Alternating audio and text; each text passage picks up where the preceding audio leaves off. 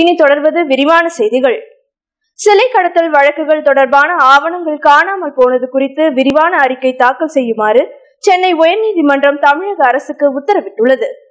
இது தொடர்பான மனுவினை விசாரணை செய்த தலைமை நீதிபதி திரு சஞ்சீவ் பானர்ஜி தலைமையிலான அமர்வு நேற்று இதற்கான உத்தரவை பிறப்பித்தது.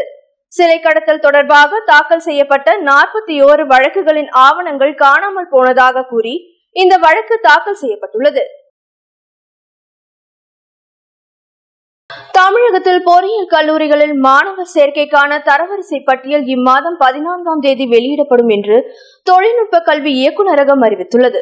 அகில இந்திய தொழில்நுட்ப கல்வி கவுன்சில் பொறியியல் கல்லூரிகளுக்கு மாணவர் சேர்க்கைக்கான இடங்களை ஒதுக்கீடு செய்வதில் காலதாமதம் ஏற்பட்டதால் தரவரிசை பட்டியல் வெளியிடும் தேதி ஏற்கனவே அறிவிக்கப்பட்ட நான்காம் தேதியிலிருந்து பதினான்காம் தேதிக்கு ஒத்திவைக்கப்பட்டுள்ளதாக தெரிவிக்கப்பட்டுள்ளது.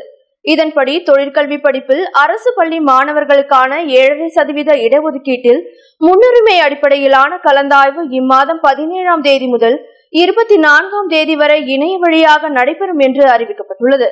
பொது கலந்தாய்வு இம்மாதம் இருபத்தி ஏழாம் தேதி முதல் அடுத்த மாதம் பதினேழாம் தேதி வரை நடைபெற உள்ளது